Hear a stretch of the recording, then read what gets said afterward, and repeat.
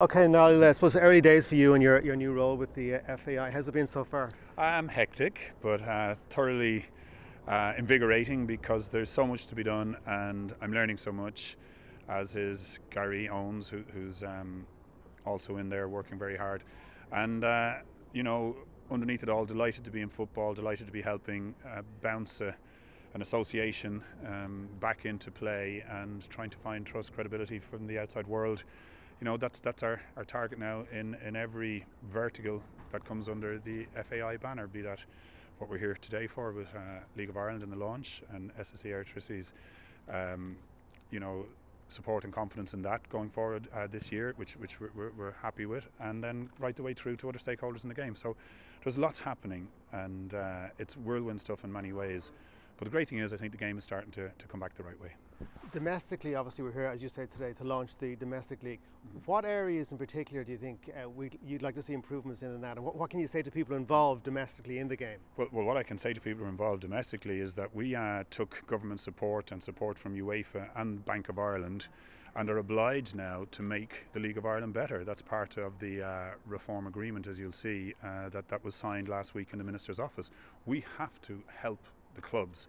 A, start good uh, academy structures that can uh, be, be, considered best practice, and we must also help with infrastructure and the building of better stadia for players uh, to play in and fans to come and watch. So we have a big task ahead of us in the next five years, but we have no choice because if we fail in that task, government will look for their money back and the association will be in big trouble again. So it's not a nice thing to do for us, for League of Ireland, it's actually uh, it's, it's, part of an agreement that we must deliver on this. So that's where we'll be going. We're getting to know the clubs, Gary and myself, a little bit better.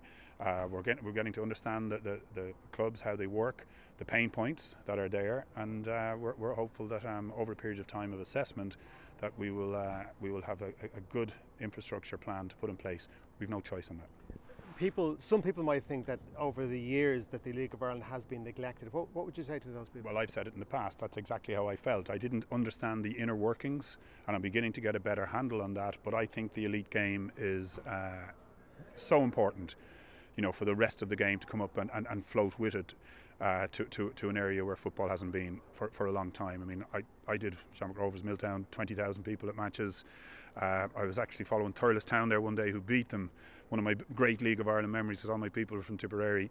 And I can remember walking away from that ground, you know, full of inspiration as a young sort of 12, 13 year old. And we want young 12, 13 year olds in this country to believe that there's something great for them to aspire to. And that's going to take time to put in place and to capture uh, the minds and hearts of the people but we're, we're charged with doing that.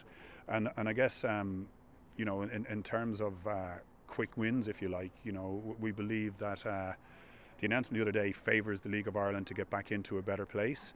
Uh, that doesn't mean to say that the, the rest of the game can worry because the rest of the game will come with that. There's also strict measures in there to improve grassroots.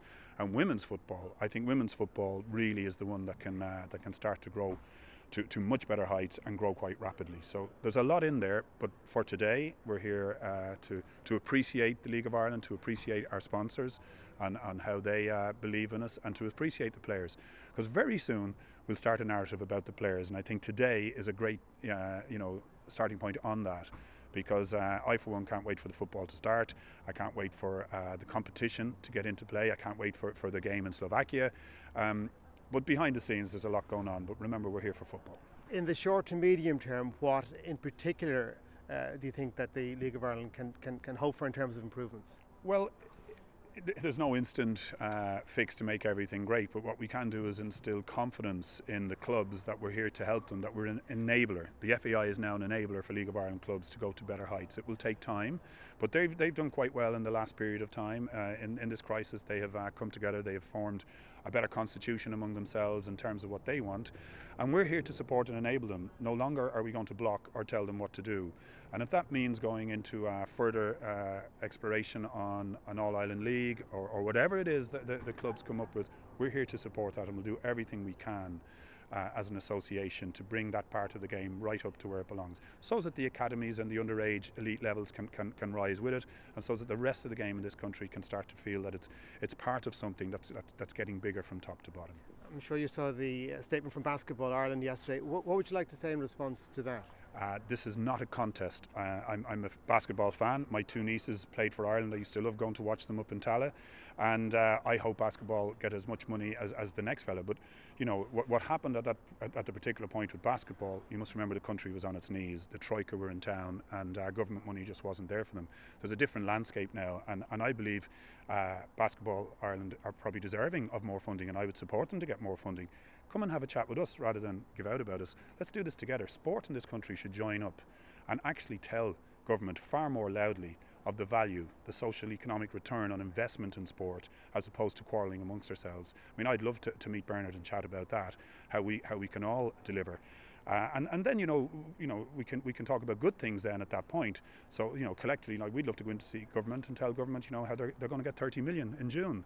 You know, that doesn't seem to be on the agenda anywhere. They're guaranteed a minimum 30 million. If Ireland qualify, if Mick does his magic, that number absolutely uh, mushrooms. And then, of course, you know, the, the, the city of Dublin itself for that period of time, you know, that there's there's a guarantee of over 100 million coming into the, the coffers there. So, so football and sport, all sports, have a value. It's about coming together and hitting government hard as a group. And I, I for one, hope basketball do very well in the future not just because we got uh, a, a, hand last week, but because of the value and what they bring. That story needs to be out there, and I, for one, will be supporting anything Basketball Ireland does. But let's do it together. All sports should do it. Can you understand where Basketball Ireland are coming from? Uh, can I understand where Basketball Ireland are coming from? Um, it's not my job to understand where they're coming from. I think what I'd like to say to, to Bernard O'Byrne is come out here, we'll show you how we did it, we'll show you what government are looking at these days. Let's all do it together. Maybe let's start a sports forum where we can all go for more funding because it's certainly not enough for us to do what we want to do. We'll be looking for more. But we're in the advantageous position that, you know, that we're handing 30 million back in June. Uh, for instance, you take rugby, Connacht Rugby, they're um, you know, they got 20 million there a few weeks ago. They won't have that paid back by June or a big profit on it, which we will do. That's the power of soccer, but we'd like to extend that power into other sports and say, come on, let's all get together here now and put real pressure on government to recognise the value of sport in this country. I think it's taken for granted too much. Uh, lots of problems I know in, in, the, in the real world out there. Uh, you know, I, I, I, understand the homeless situation. I understand, you know, that the, the government have, have uh, specific duties to do here. But sport needs to stand up and be united. And uh, any other sport who are, who are looking at us saying, you know, well, they got some. I mean, you must remember, we got 2.9 million extra this year and alone. Okay, and we're handing 30 million back, a minimum in June. Like, we're not here boasting about that, saying uh, get lost basketball. We're saying you should be doing something similar. Let's all get together and let's try and bring sport to a great place in this country. It, it's it's in the fabric. It's in our DNA. Uh, let's let's be united. This is not a contest.